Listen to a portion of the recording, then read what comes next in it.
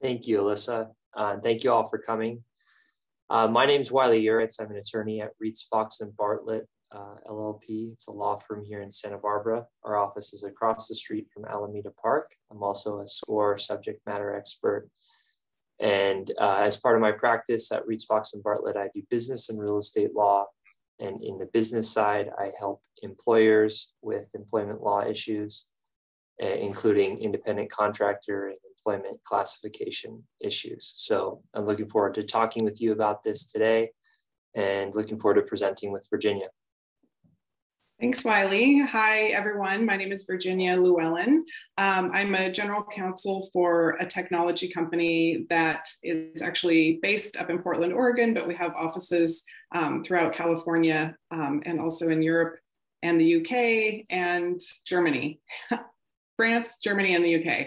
I think I covered it all. I've been a general counsel for about uh, 16 years now at various kinds of businesses, including consumer products businesses, technology businesses, and entertainment and media businesses. So, a pretty general background in terms of the kinds of companies I've worked with. And this topic of independent contractors versus employees comes up over and over again, no matter whether you are a sole practitioner, just one person doing the work, or you are a quickly growing enterprise that is thinking about how to add people along the way to help you grow your business.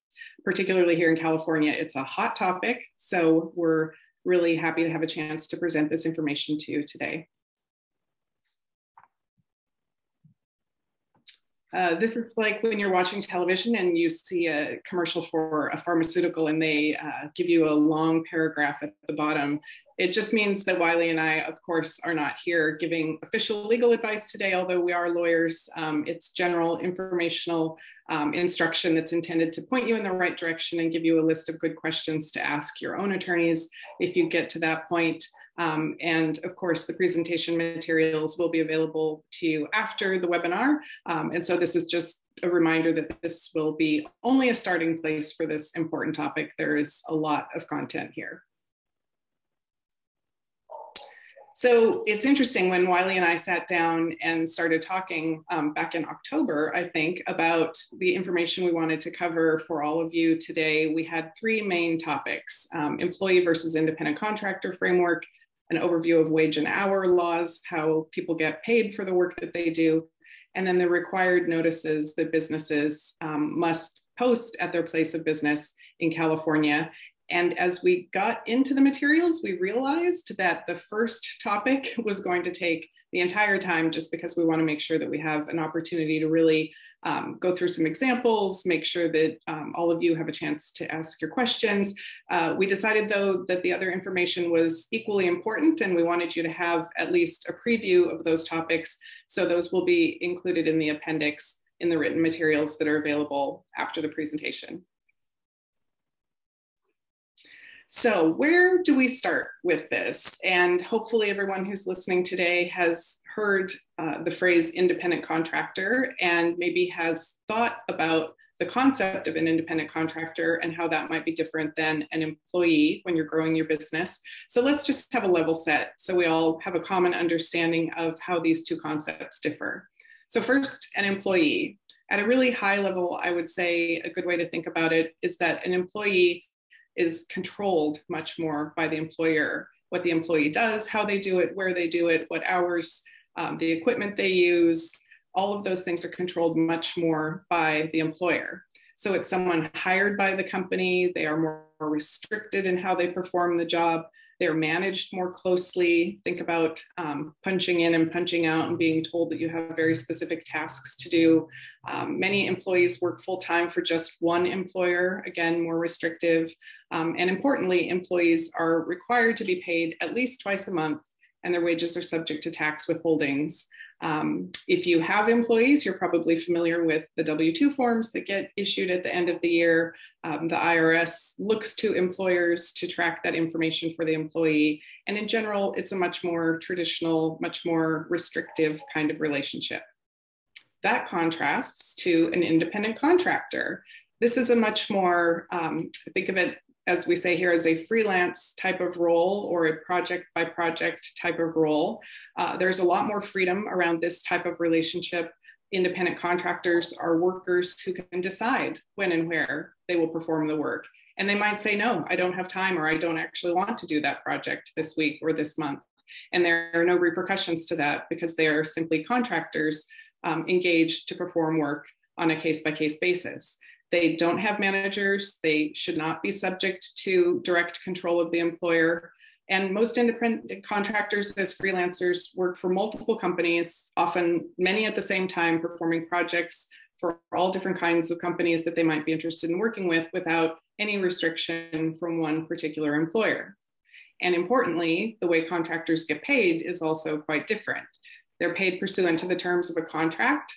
So it might be a couple of times a month, it might be every 30 days, it might be quarterly, there could be a flat fee for a project that gets done. And the employer is not required to withhold tax from an independent contractor. Instead, the worker is responsible for recording and reporting their earnings and then reporting their tax to the IRS. So, at a really high level, thinking of the employee relationship as being one that's much more restrictive and controlled, and the contractor relationship as being one that has a lot more freedom and flexibility is a good starting place. This chart just sort of highlights some of those concepts that we just talked through. Um, again, on the employee side of the chart, you see that the employer is responsible for a lot more pieces of the worker company relationship are a lot more, uh, particularly in California, laws that come into play around how the relationship is formed, how it goes on throughout the duration of the relationship, how the worker gets paid, any liability that the employer has for the actions of the employee. Again, all of those things much more restrictive in the employee relationship. On the right side of the chart, you can see that the independent contractor relationship again is much more free in the way it is formed. A lot of the typical worker laws don't apply to independent contractors. They are not eligible for overtime pay. And importantly, employers are not typically responsible for the actions of the contractors as long as you've properly formed that independent contractor relationship. And, and we'll talk more about that as we go on. So um, when you have access to these materials um, going forward, this chart is always a good place to go back to and just help you issue spot or think about um, the different way that these two relationships play out. Thank you, Virginia. So as Virginia was talking about, she was talking about basically what employees and independent contractors are on a high level. And now we're going to go a little bit more specific into what how you determine whether someone is an employee versus an independent contractor in the eyes of the law.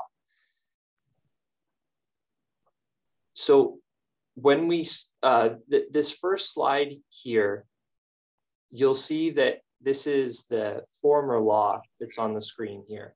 This was the test that was established, uh, that was used in California previously. And the reason that we have this here um, is because you'll see that that this test is still used today in um, in the current test that we use. It's it's used for exceptions to the the current test that's in place. So the reason that we that um, that what I think is really important about this test, which is called the Borello test, you'll see that there's several factors on the screen. And these factors you can think of them on a scale. So any of these factors could potentially weigh more or less on the scale for independent contractor for determining whether someone is an independent contractor or employee. What that means is hypothetically, any one of these factors, if they were in favor of an independent contractor, could weigh heavily enough to say that that person is an independent contractor. What this meant for the former law of how we used to determine things in California, whether someone was an independent contractor or whether they were an employee, is that there was a lot more ambiguity and a lot more room for argument as to whether someone was an independent contractor versus an employee. This test is also still basically the test that the federal government uses. So Virginia was talking a second ago about W 9 or sorry, W 2 employee and 1099, that is um, that's for tax purposes and federal income tax purposes. So, so this is still used by the federal um, government for those purposes. Alyssa, will you go to the next slide, please? In 2018, the courts decided to get rid of that old, the Supreme Court got rid of that old test and they set up a new test called the ABC test. This new test um, was it, basically it got rid of a 30 year body of law that had been established previously and it really upended everything um, in the independent contractor employee space in California and it, it left a lot of questions. And then in January of 2020, uh, AB 5 went into effect, Assembly Bill 5. You'll hear a lot of people refer to the independent contractor employee laws in California as AB 5. Um, and, and what that did is it solidified the test that was established by the, by the Supreme Court. And it also established exemptions, meaning ways that uh, situations that the ABC test did not apply to.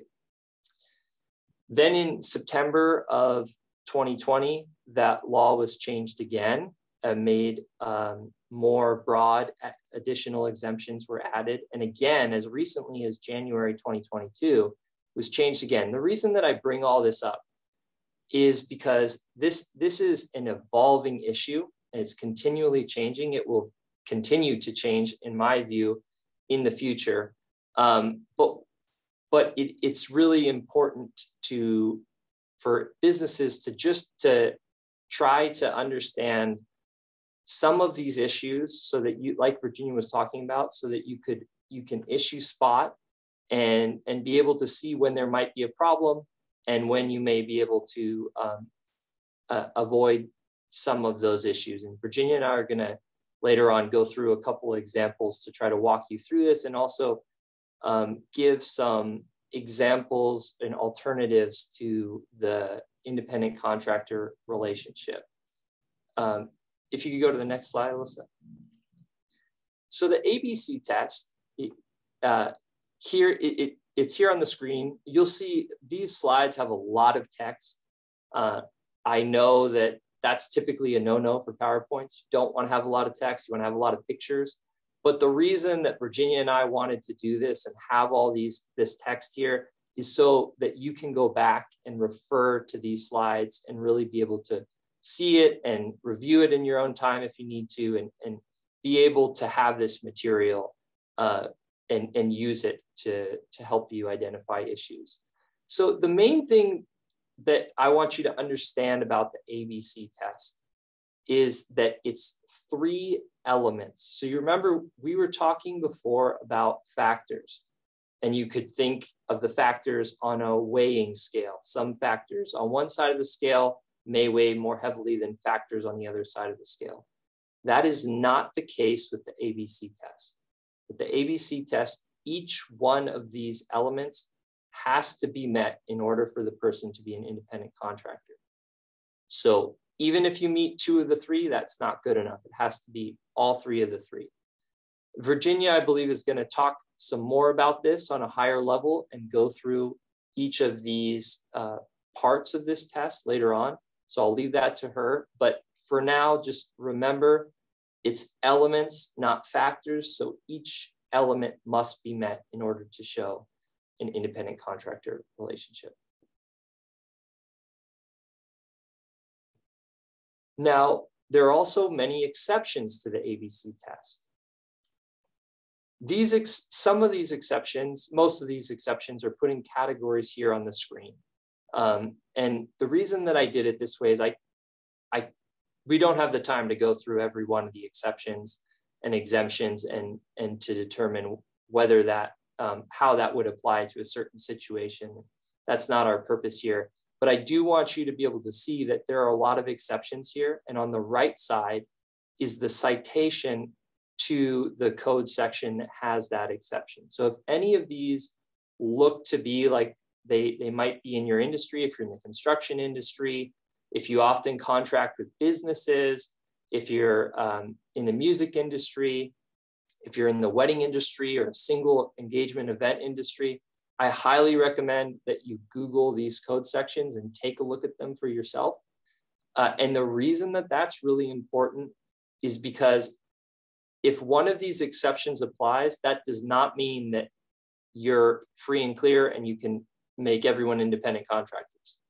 All that means is that the ABC test does not have to be met, but it still means that you have to meet other um, conditions and other um, other tests. And you remember a second ago we started with the the factors in the previous law, and the reason that we did that is most, if not all, of these exceptions require you to still meet that factor test, that weighing of, of all those between seven and 11 factors to, to say that the person is an independent contractor.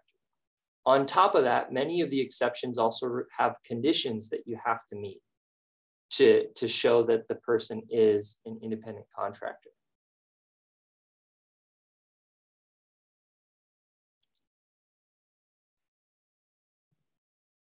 So, as you can tell, the law is skewed toward employment, and it's really been skewed that way now with these new tests. What that means is you, you as the potential employer start an uphill battle. So it when when the when you're paying a person to or giving a person anything of value to, to work for you, that person is presumed, or the default relationship of that relationship is employment. And it's your job to prove that, that the person is actually an independent contractor. So, for those baseball aficionados out there, tie does not go to the employer. Tie goes to employment, meaning an employment relationship. Um, so it's really important that you're thinking through this situation and th- and and and identifying when these issues may may be arising and all of you being at this presentation are already on the right track.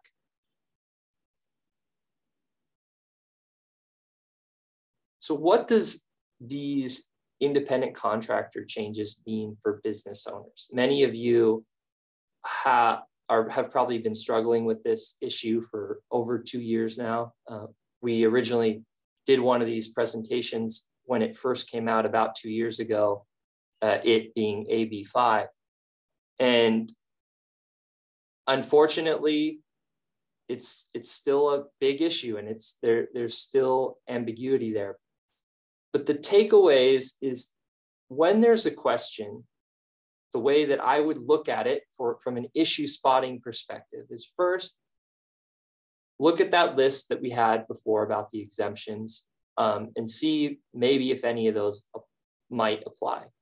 Then to look to the ABC test and to see can you meet every element of the ABC test? And we're going to walk through that in a second with some examples and then after that if if it's a close call or if if you really need an independent contractor in a relationship but you think that they're probably they might be an employee then that's the time to go contact your attorney uh, and and to get legal advice on on uh, the w- what to do in that situation. In the situation where you have to consult a uh, uh, in a situation where you do need to go to employment, if that involves um, needing to change some aspects of your business model or anything like, or something like that, uh, then I would contact your CPA or your financial advisor, um, or and and and just to get more people. And if you don't have CPAs, you don't have financial advisors, you don't have attorneys, it, at least I would get more perspective on it and and really try to wrestle with this topic and make sure that you understand uh, in your situation what what the potential issues with that could be. The reason that it's really important to understand what the consequences can be is because there are significant potential consequences. Two of those cons two of uh, those consequences can be thought of in two different buckets, and I, I have them here on the screen. Um, the first bucket is what the government can do. The second bucket is what workers can do. Before I go into that, I, I know that this this can be scary, um, and I know that as the lawyer, uh, I, I'm always the one saying, okay, here are the consequences. But the, the, the main takeaway with this is to understand what the consequences are, yes, but also to just know that you by by taking these steps and by trying to understand what's going on, you're already way far ahead of the pack. And um, so so that's the main takeaways that um, you, you are on the right track and just just uh, keep up with that. But the as for the two different buckets, the first bucket, what the government can do, uh, there are several agencies that can seek penalties from you, and those agencies are the agencies are tasked with enforcing certain laws regarding uh, taxes due to the state um, or the employment relationship with the state.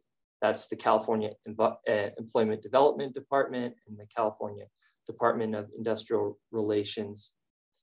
Uh, and then very recently, as of January 1, 2022, the, the, there's been a change to the penal code, which is the section that governs criminal law, that has actually added a violation for intentional wage theft. So that is where someone deliberately fails to pay workers over $950.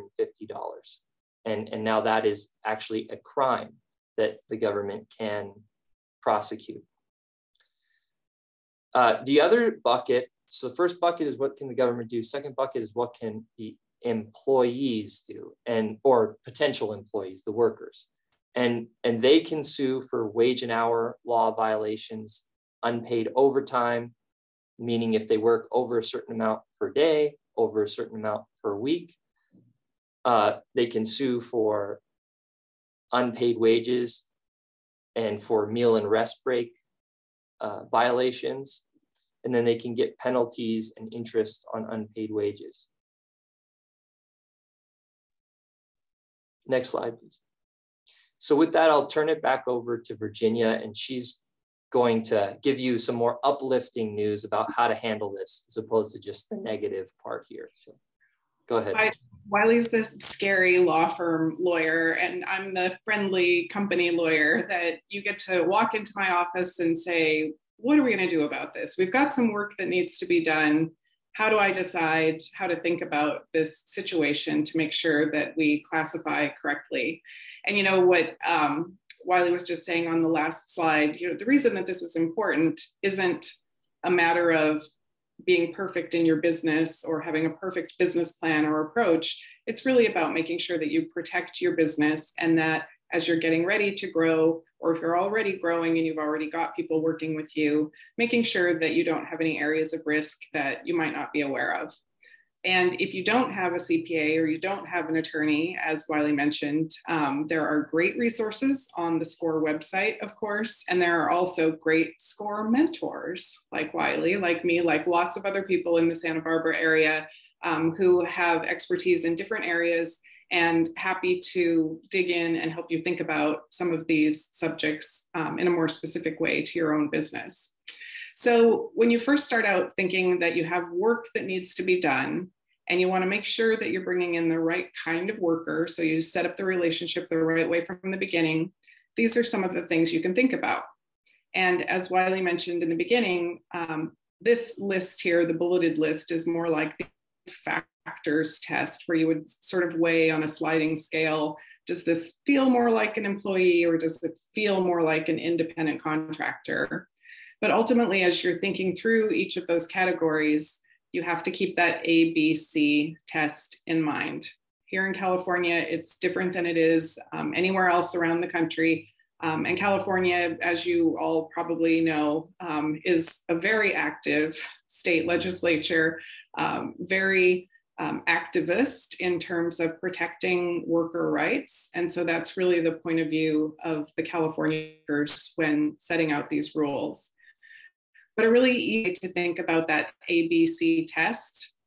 And if you don't take anything else away from this conversation, I would ask you to write this down or take this away and think about it. The ABC test can be summarized as autonomy, business, and custom. And so the autonomy factor means that the worker must be sufficiently autonomous and free from control of the employer.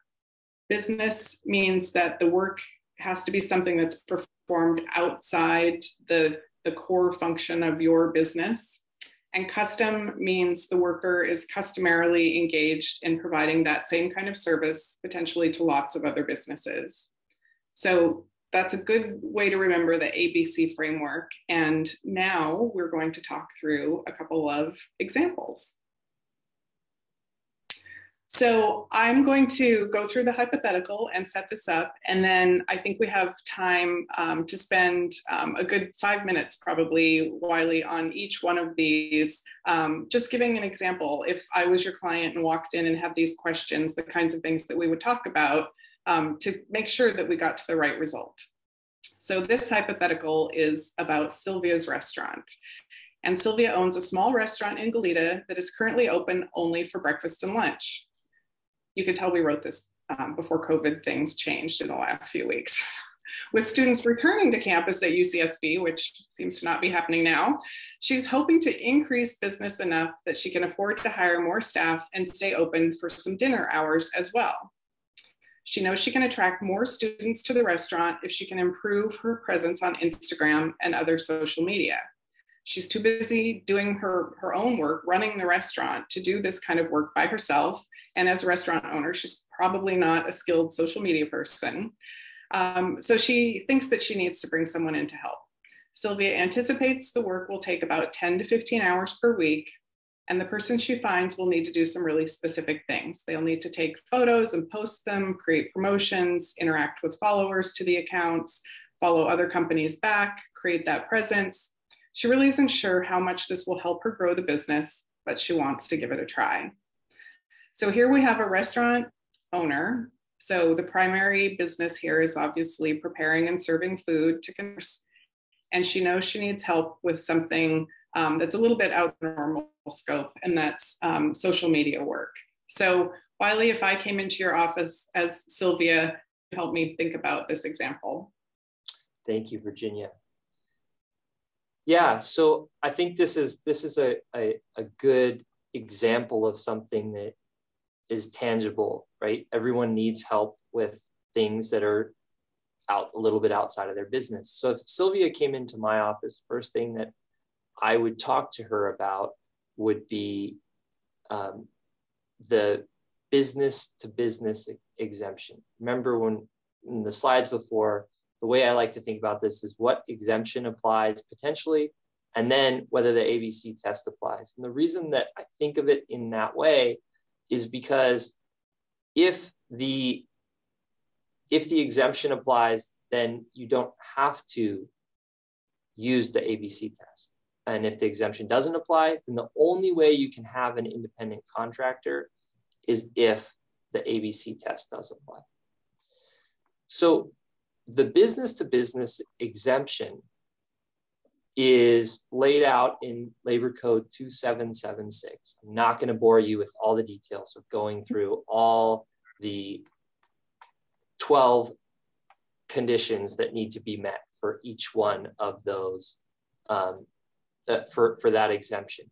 But it is important to be thinking through all of those because everyone does need to be met. But for, for the purposes here, if I was talking with Sylvia, what I would first ask her is, do you plan to be hiring a business? And I would counsel her that you should be looking to hire a business as opposed to an individual. So, Sylvia does not. That's a great decision tree point there, I think, Wiley, for a lot of small business owners who wouldn't even know that that might be important. So in this hypothetical, you can see where it might be tempting to maybe hire a student. right. Exactly. And what I was going to say with that is a student, or how about one of her busboys who's looking for more work? He doesn't have um, he doesn't have any skill, any any background in it. He does social media, his own social media, but he doesn't um, have a, a company that does it. He doesn't plan to do it in the future. He doesn't advertise. If Sylvia gives the work to him, now that he is an employee, he is not an independent contractor. Even though, had she all the facts the same, pick someone else who was a business, now maybe she she does meet the business to business exemption or even the ABC test. Um, so so with now now going on to the ABC test, if you think about that, uh, Virginia already teed this one up a little bit for you. But if I were counseling Sylvia, I would say, okay, first, your business is a restaurant business. That's your primary business. It's not social media marketing, and you can even see that here through the uh, through some of the facts. She she's willing to have the person work 10 to 15 hours per week that tells me it's not a set schedule. It's not that I need you eight hours a day or I need you these days a week and at these times specifically. It's flexible. So she's not controlling or um, directing that person other than to give them an outcome. I want to have more increased traffic. And, and I want you to improve my social media in order to have that. But but that's not the kind of direction like you need to post these this content you need to do it in this way you need to work at these times all of those things um, would would be more toward employment then the second issue is the usual course of business. So that's what we were talking about before. Her usual course of business is a restaurant not a uh, social media company so she's probably fine there. And then the third one which is which is the one where she could go either way depending on who she picks and why it's really important to be thinking about these things before you make decisions because the third one is um, what it, does the person who she picks customarily do this for other people are they engaged in this as a business um, and if the answer to that is yes they do and they are a business she has an independent contractor and she doesn't have to worry about all of the employment issues. Virginia, is there anything you would add to that? No, I think that's great. And it's important to help people understand sort of the way to break it down and think about it. So, first, go and check, see if you might have an exception. If you have an exception, then you need to dig in a little bit more and, and understand how that exception works. And then if you don't, or if you're not sure if you have an exception, check the ABC test. So as you just walk through it, A, remember, is autonomy. How much control does Sylvia have over this work that needs to be done? B is business. Is this part of her usual business? No, she runs a restaurant and this is social media. And C, is it customary? And this is the one, this is such a great example of why it's important to think about this up front. Because if you were thinking about this up front, you could make an informed decision and say, okay, C is customary. So I, I need to pick someone that customarily does this social media work for other businesses. So that means I'm not going to hire my busboy. I'm not going to hire a student from UCSB because that's going to mean I have to make them an employee and go down that whole other path I might not be ready to go down. Instead, I'm going to go find someone who does freelance social media work that is maybe in a, a, sole proprietor. It doesn't have to be a huge, expensive business, but someone who is in the business of doing social media work. And then that would point you in the direction of meeting all three of those factors. So it's just, it's a really good example of why thinking about it before you make the decision can have a huge difference versus getting part way down the road with someone and then realizing, oh, wait a minute, I'm not sure if I did this right. And then it might be harder to unwind the situation that you find yourself in. So in this case, Wiley, do we think as long as we do it correctly, it's pretty easy to make this an independent contractor? Yes, I think as long as that third element is thought through, that this would be an independent contractor. Good. That third okay. element being um, custom, the per, what the person that, that they do it as their business for other people as well. Okay, good. We're going to do one more hypothetical. So this one is Events by Miguel. Miguel owns an event planning business, and he originally started as a, a, freelance planner for weddings, but he eventually started working for local companies and doing small corporate events as well. Miguel's business really slowed down during the COVID crisis when everything was canceled or postponed, but things are starting to pick up again. And then they stop again, and then they pick up again. But Miguel knows that COVID will someday be behind him. He knows that he needs to say yes to every opportunity that comes his way in order to make enough money to keep the business afloat, even through these really uncertain times. So, if Miguel wants to work with more than one to two clients at a time and scale his business, he knows he needs help from another event planner. He doesn't mind if it's someone less experienced and really junior, he's willing to train them how to do the job and he isn't sure if this uptick in the business is seasonal, if people are just getting really optimistic right now, or if it will continue year round. So he's a little bit nervous about making this commitment. He's also nervous about having that responsibility for paying someone else and, and really taking that on. I'm sure this is probably a familiar feeling to many people on the call, but he knows it's the only way to grow. And I think this is such a common inflection point where a business owner is doing everything themselves. They're doing it so well that the business is now kind of outpacing what they can do by themselves. But you reach that inflection point where it's really scary to take the leap to the next step. But if you don't, you know you're going to be really limited in your income. So, Wiley, how would you help Miguel think about this situation when he's going to bring on some additional help? Yeah, so I like Virginia was saying, I think that this is a really understandable example that that it's it's scary, right? And it's even scarier now with being at a presentation. Are they employees or independent contractors and all this crazy stuff? But but what what I think is important to remember is even if you do have an employee, people do it all the time and we're going to get into how that Virginia's going to talk through, I think, a little bit on some alternatives and some ways to make it a little bit less scary. But it, it is possible, it is doable. Uh, but with Miguel, if he came into my office, the the first thing, again, that I would do is I would walk through the exemption, the potential exemptions with him. Here, it seems like one of those exemptions that could apply is the single engagement event ex- exemption potentially. This exemption, uh, again, applies to businesses contracting with other businesses. So similar to that previous example, it's important you know who you're contracting with, that it's it's someone who's intending to do business for themselves.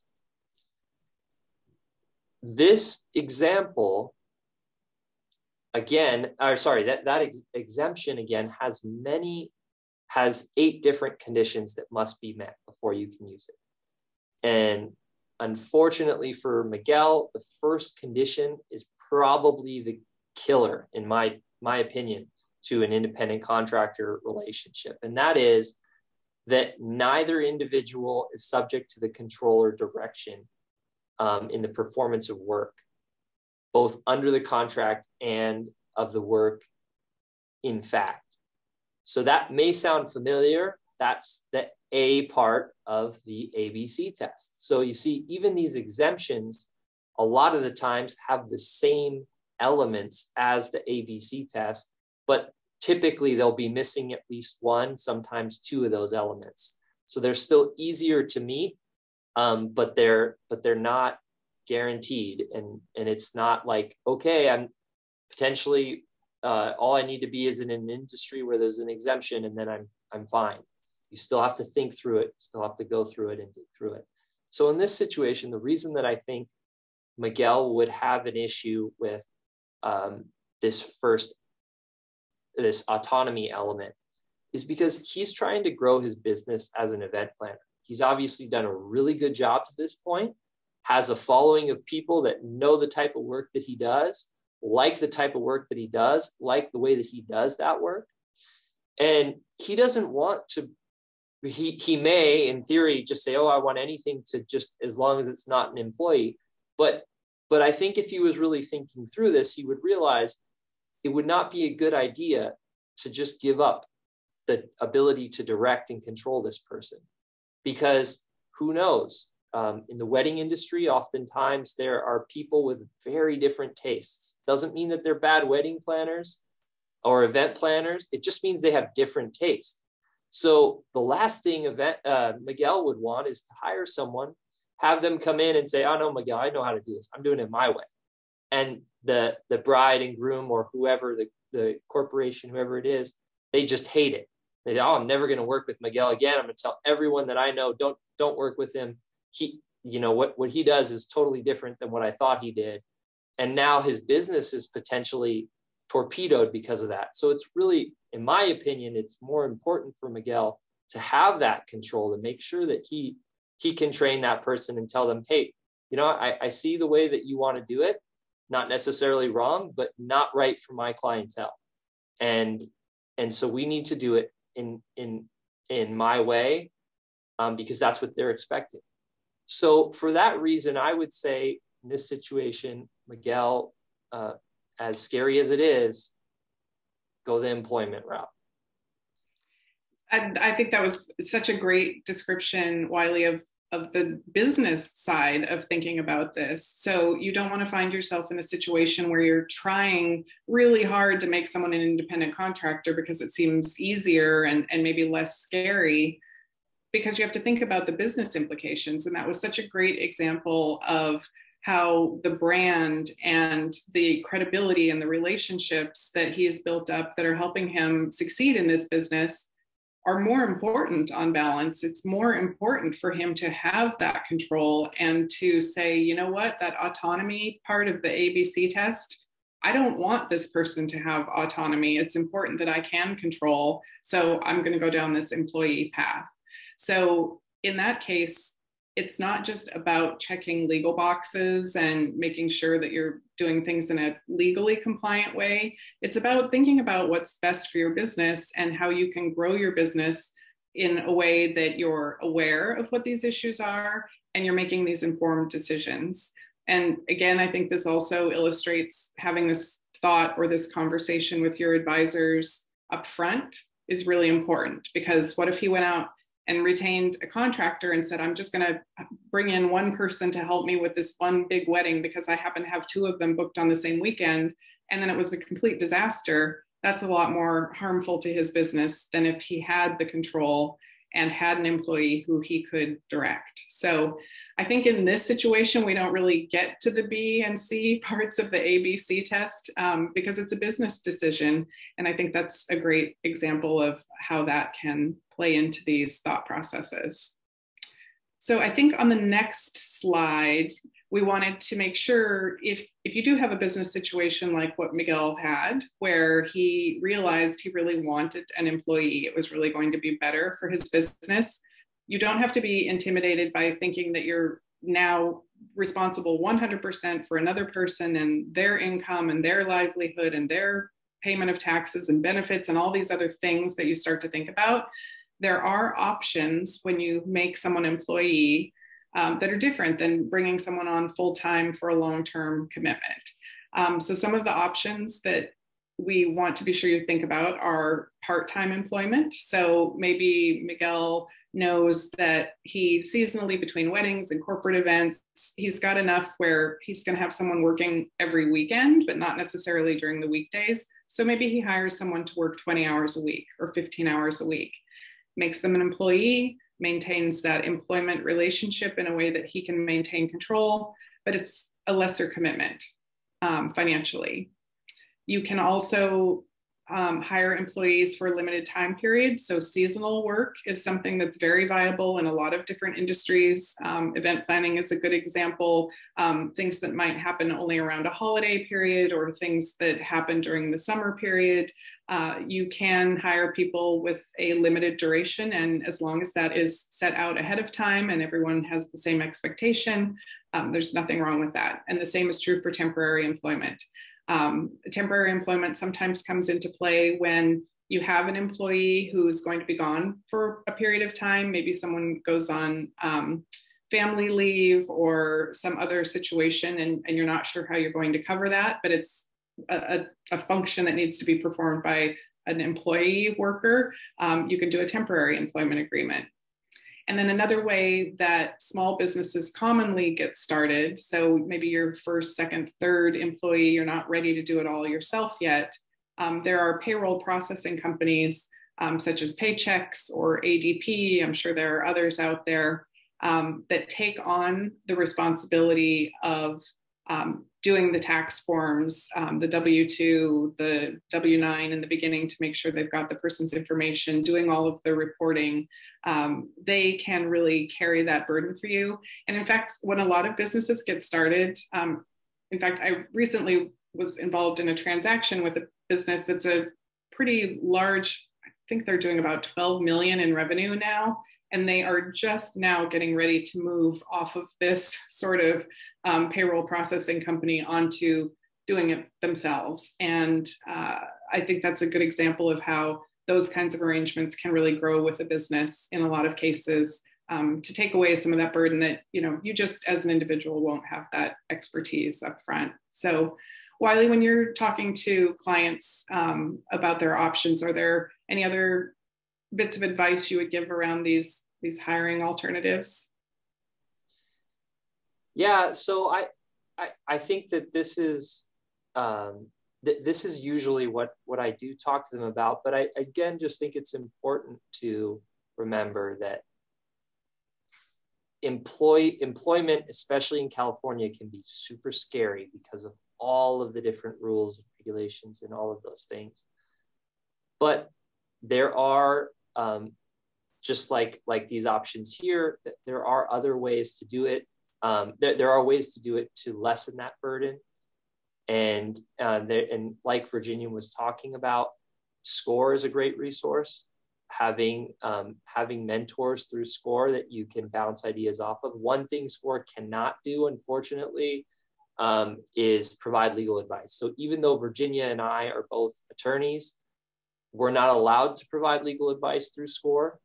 Um, but they can mentors can still help you help you issue spot. They can help you um, give you ideas of for your specific business of, of maybe ways to um, either tweak your business model or to um, to creatively do things so that so that uh, you're able to have these employees and have less of a less stress about that. And and many of the mentors in SCORE, even well, I shouldn't say this. I'm talking myself out of a job here, but I was going to say even better than attorneys. They've actually done it before, so they are you know they were in the same boat as you. They they had employees.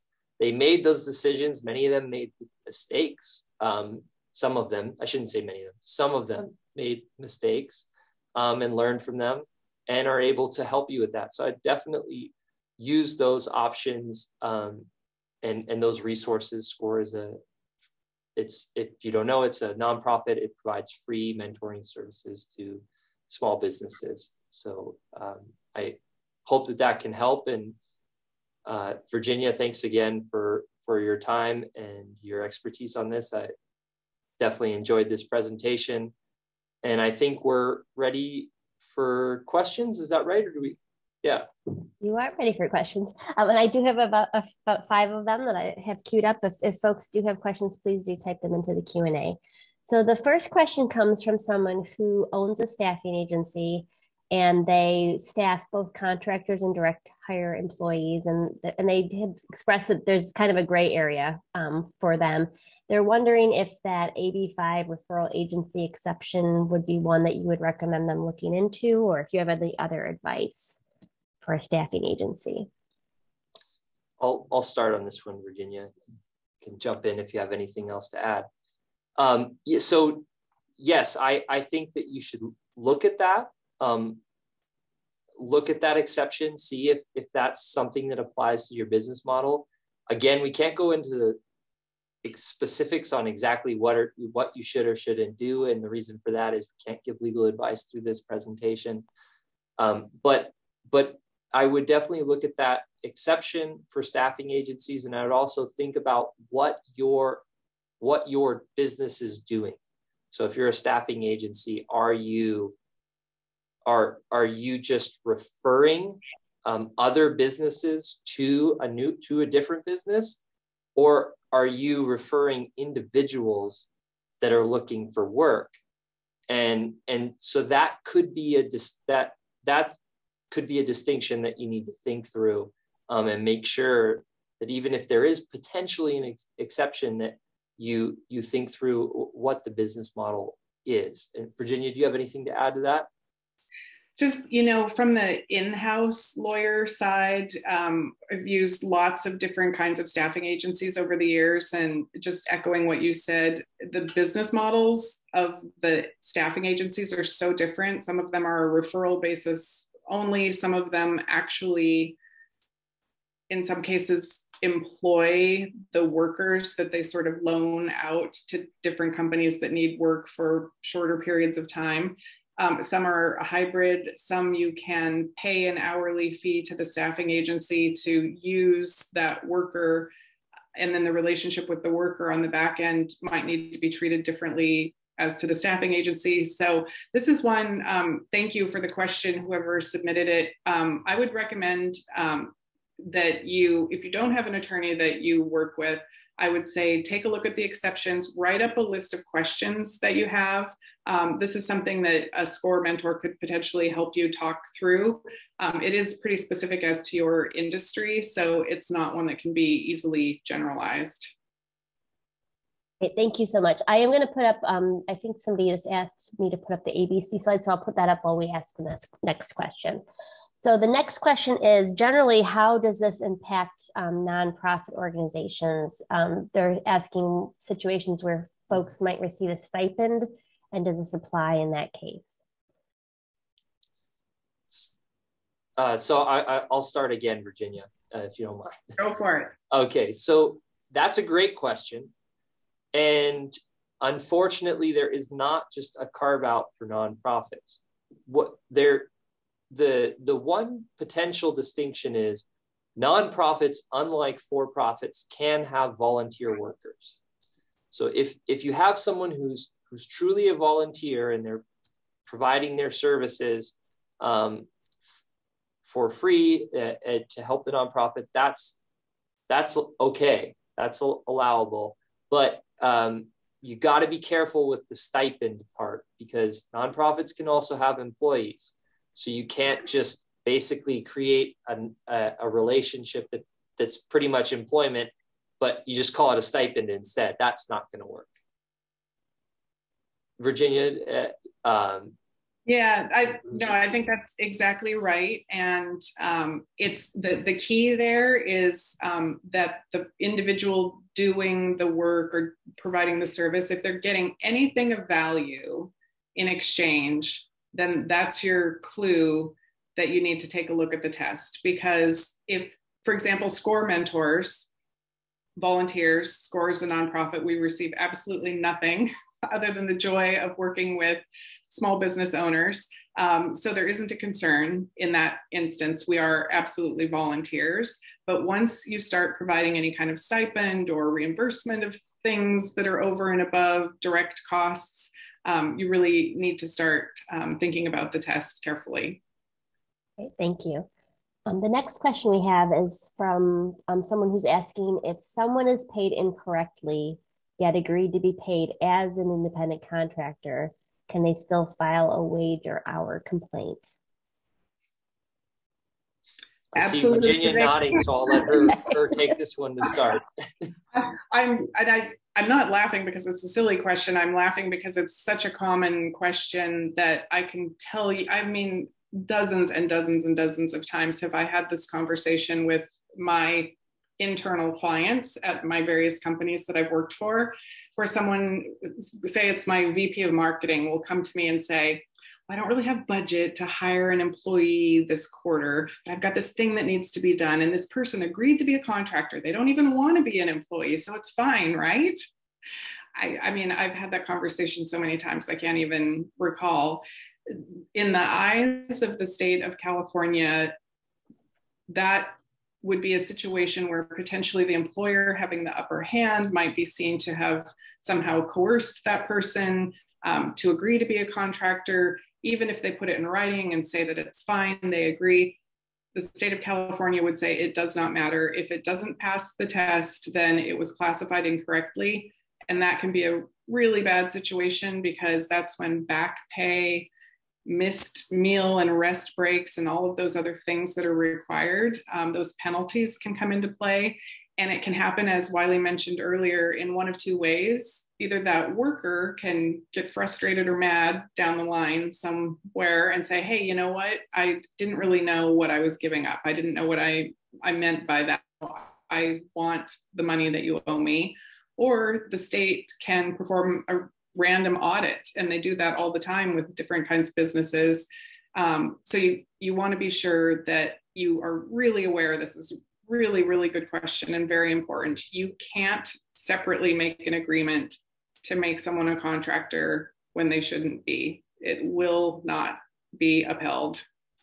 Yeah. Any disagreement, Wiley? No, I, I totally, totally agree. And it's it's one of those things that is so hard to understand, especially for business owners. And I totally get it because it's counterintuitive. Someone agreed to something. And typically in our society, you can make contracts you can make agreements you the the law will uphold those agreements and that's how our society operates. But in this area because of what's called public policy the the courts will say nope doesn't matter. They could have said whatever they wanted they they could have agreed to it but if they later decide that they want to sue you for it they can. You cannot make an agreement to waive that pre before. So so there would be a different situation if, let's say, the person was an independent contractor, they agreed to be an independent contractor, then they sued for uh, an employment issue, and and you went through that process and you settled it, and, and you said, okay, we agree, we'll pay you this, and you waive your claims. That's a different situation, and that's okay. But pre, because they said that, oh yeah, we agree we're an independent contractor, even if they say we're not going to sue you for it, that's not going to the courts are not going to uphold that unfortunately um, and it's totally counterintuitive because like i said you, you would think that if if someone said said it that they would be held to that but not in that situation. The same would be true for minimum wage right? If you right. said oh it's exactly. that person agreed that i could only pay them five dollars an hour. Yeah. It, in the employment realm almost not most of the laws are not waivable, meaning that that you cannot the employee can't say, look, I, I want a job, and and there's a policy reason behind it, right? That, that you don't want people saying, look, I'll work in a sweatshop for one dollar an hour because I need a job so bad.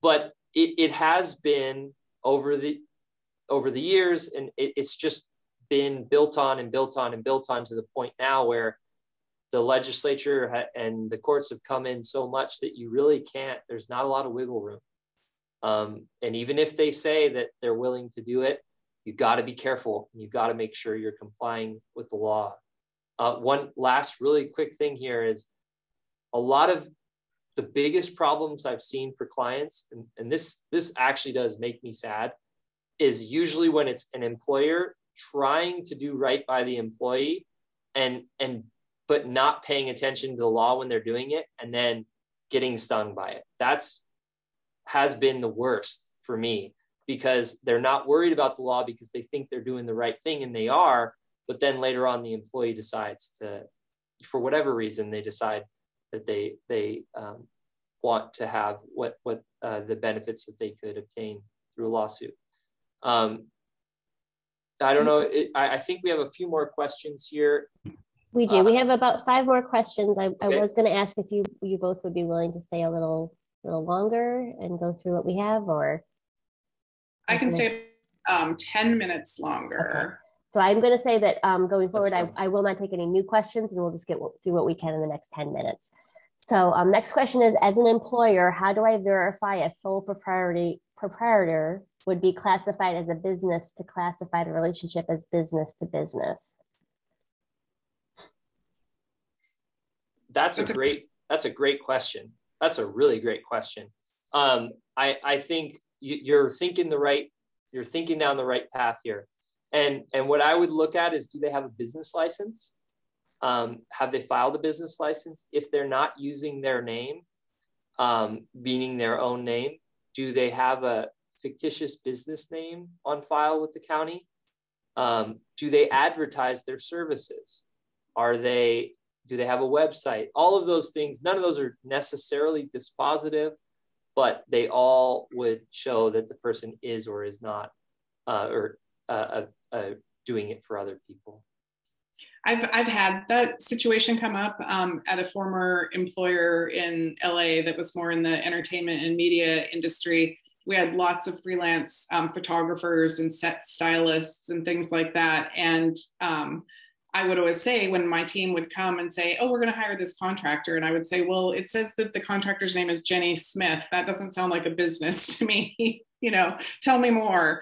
Um, so there are questions um, that you need to ask, um, and uh, it would be a good idea to to make yourself a list of those questions. You know, do you have a website? Um, are you a sole proprietor or a lot of sole proprietors will become an llc even if it's just that one person.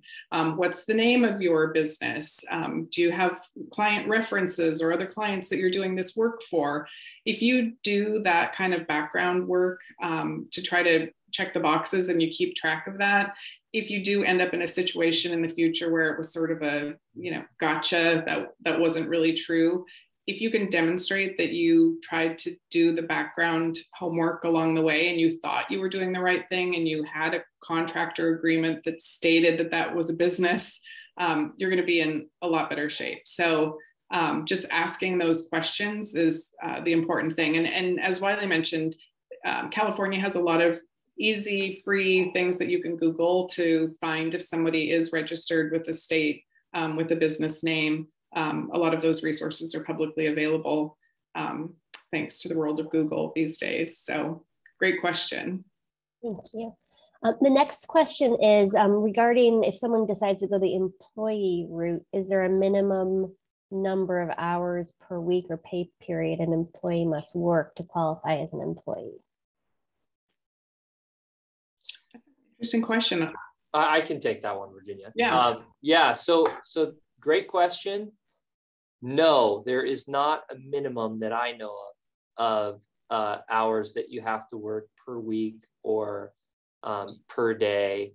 But but what you want to be careful of there is that remember it, it's it, it might not be your concept of work. So sometimes people think, okay, well I, I need them to show up at this um, at this time and they're only going to work 10 minutes and then I just need them to hang out for a couple hours and they're going to work another 10 minutes depending on how that's happening, all that time might be might be considered um, time that they're working. But as far as just a minimum to be determined an employee, there there isn't a minimum, and and any and um, also California is an at will state, meaning it, unless you have an agreement otherwise, you can terminate an employee. Well, you you can terminate an employee for anything but under California law, which um, you, another you, webinar. you can't discriminate against employees, but but uh, vice versa, employees cannot uh, can leave you at any point as well. Thank you. Um, question in regard to if you were going to use a gig, sort of a gig web, excuse me, gig website like Upwork, what what do they have to keep an eye out for in those situations? That's another great question. And, you know, there a lot has been said and written about California's laws really being kind of an attack on the gig economy. Um, and it's, I think, to me personally, I find it very ironic that the state that is, you know, the hub of all of this kind of innovation around a lot of these gig uh, kinds of jobs is also the state that has a really heavy hand in regulating them. Um, I would say if you're using a third party platform like that, it is the responsibility primarily of that platform to make sure that it is engaging those workers in the correct way on the back end. So that platform would have some issues to think about about whether those are actually their employees or whether they are contractors to them. In that situation, um, I'm not familiar with that platform in particular, but if it's like others, I'm imagining um, you would go online and you would register for an account, um, or you'd be in an app and you would register for an account. So you're actually making the agreement with that platform um, to identify a resource that you're going to use. And um, I would assume that that would be a type of work that would be either very short term or a very specific thing that you needed to get done. It probably wouldn't be a routine part of your business. Um, so you would want to think about the ABC factors, but it's a little bit of a different framework where I'm imagining, guessing that you have the relationship with that platform company and not with the worker but it it depends on um, exactly which platform you're using which service and and how it sets up to make those connections between the businesses and the workers thank you so much um, and then the question in regard to if someone can agree to volunteer to assist a for-profit business for an agreed upon upon a time Alyssa, um, Alyssa, I'm sorry. I think you may have skipped one right before that. Oh gosh, I'm so sorry. Thank you for catching that. Yeah, yes, no, okay. No, problem. no, thank you. Um, so yeah, so the one before that was if someone was an independent contractor before Dynamex and they're still an independent contractor, can they still sue for back wages? That's that's a really good question. Also, um, yeah. So so a lot of this law is like I was saying, it's brand new. We don't know what the courts are going to say, um, especially with regard to whether things are uh, retroactive and, and how far retroactive they are. Um, the the I, I think after once once the law was changed, you you couldn't just rely on the former law. So in in uh, in the real estate context, land use context, you if you were conforming prior, you can continue to be conforming in the future. That's not the case with employment. So if they were an independent contractor before under the previous test, that doesn't mean they are now. You still may have to change that. So definitely still be thinking through that. Even if they can't sue previously, you you, you want to be th- making sure that they're in line with the law at this point. Yeah, it's really potentially a reclassification issue that you have right. to be alert to um, versus getting sort of dinged for a new standard being applied to the former situation. It's just paying attention to checking the classification going forward. And now for our last question. Um, can someone agree to volunteer to assist a for-profit business for an agreed upon amount of time? If so, what would the issues to the business be? And, and they gave the example of, you know, someone helping a friend or a learning opportunity, etc. So yeah, th- this this is an interesting situation because that's kind of what I, I, mean in some ways that's what score does. They assist um, non they assist uh, for-profit businesses. But the, the key is that this is one you got to really be careful with because if you're the, um, the hiring entity because this is one that will look bad if things go sour with your friend or whoever else it may be because you're not paying them anything. And even if they agreed, remember, they can agree initially and change their mind and say, no, no, no, you know what? I think I was doing all that work. I deserve to have been paid for it, minimum wage, $14 an hour, um, all the back pay and rest break, meal break, all those things. They could do that. So you just got to be really, really careful there um, that that you're aware of, of, of those issues um, a- anything that you would add there, Virginia? Yeah, the thing that perked my ears up was the example of learning opportunity. So mm-hmm. I've also yeah. had dozens of conversations with my employees over the years. Um, oh, we're just going to bring in an intern. Mm-hmm. And it's good for the intern because they need the skills, and it's good for us because we need the free work. Um, so I would tell you any of these sort of free work kinds of categories, you should definitely think through and get some advice. Again, if you've got a tax accountant or if you've got an attorney or a, a mentoring resource, whether it's SCORE or, or someone else that you might know who's in business. Um, the internship example, it's really specific in California how those have to be set up. Um, and something has to happen on the other end. There has to be school credit. There has to be some kind of learning opportunity that's well documented. Um, so all of those kinds of categories can sometimes have their own rules that apply. So I would say that's an area, there's no general rule. You would need to get advice on a case by case basis, I think, to make sure you're thinking through all the issues.